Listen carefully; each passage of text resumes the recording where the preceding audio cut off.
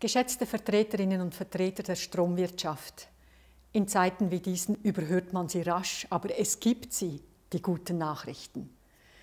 Die globalen Investitionen in erneuerbaren Strom erreichten im letzten Jahr erneut einen Rekordwert. Der Ausbau der Photovoltaik in der Schweiz boomt. 2020 war ein Rekordjahr und das haben wir im 2021 wahrscheinlich noch übertroffen. Beim Zubau pro Kopf zählt die Schweiz mittlerweile zu den führenden Ländern in Europa. Und auch Gebäudesanierungen und der Heizungsersatz sind im Trend. 2020 war ein Rekordjahr für das Gebäudeprogramm. Diese Entwicklungen sind alle erfreulich. Und dennoch bleibt viel zu tun.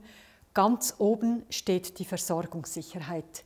Hier müssen wir der Bevölkerung aufzeigen, woher in Zukunft der Strom kommt.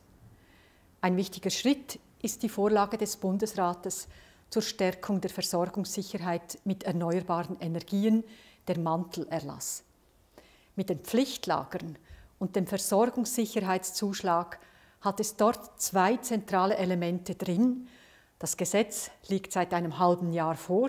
Jetzt zähle ich darauf, dass das Parlament vorwärts macht. Bund, Kantone, Naturschutzverbände und Strombranche haben schon eine wichtige Vorleistung erbracht.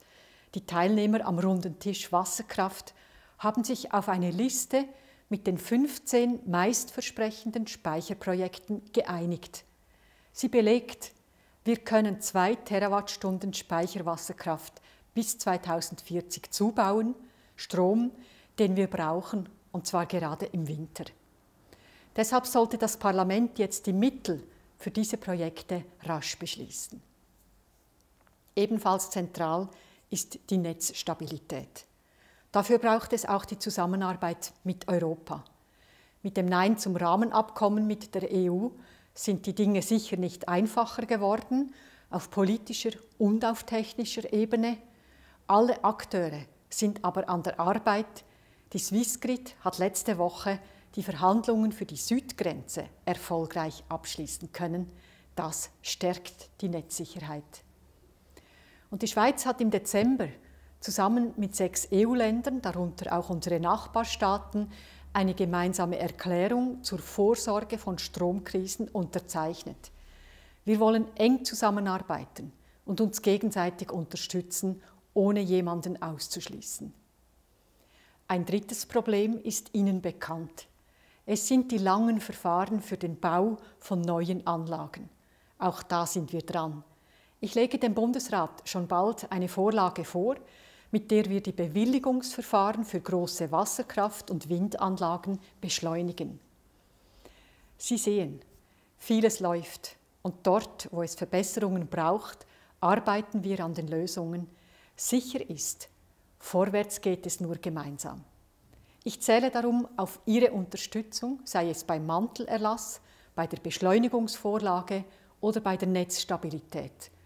Und umgekehrt wissen Sie, dass wir Sie in Ihren Bemühungen für eine sichere Stromversorgung in der Schweiz unterstützen. Sicherheit kostet.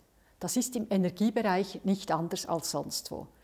Im Energiebereich ist das Geld aber gut investiert. Heute sind wir sehr stark vom Ausland abhängig. Das können wir ändern. Dafür braucht es jetzt aber kräftige Investitionen im Strombereich. Ich danke Ihnen sehr für Ihre Arbeit, für Ihren enormen Einsatz. Die Schweiz hängt ganz wörtlich an Ihnen und an Ihrem Netz.